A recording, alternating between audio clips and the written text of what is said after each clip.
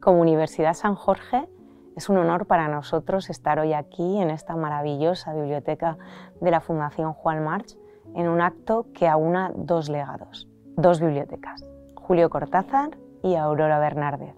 Igualmente, como universidad, tenemos la responsabilidad de custodiar el legado de Aurora Bernárdez y el compromiso de dar a conocer a toda la sociedad la inmensa y maravillosa obra de esta gran traductora. La biblioteca de Aurora y la de Julio eran una sola biblioteca. Luego al separarse ellos, cada uno hizo su fondo, pero en realidad fue una única. Entonces esta es una ocasión fantástica para, para darle un poco de también trayectoria al legado de Aurora, ¿no? que es parte muy importante de, o digamos complementaria de, de la biblioteca de Julio.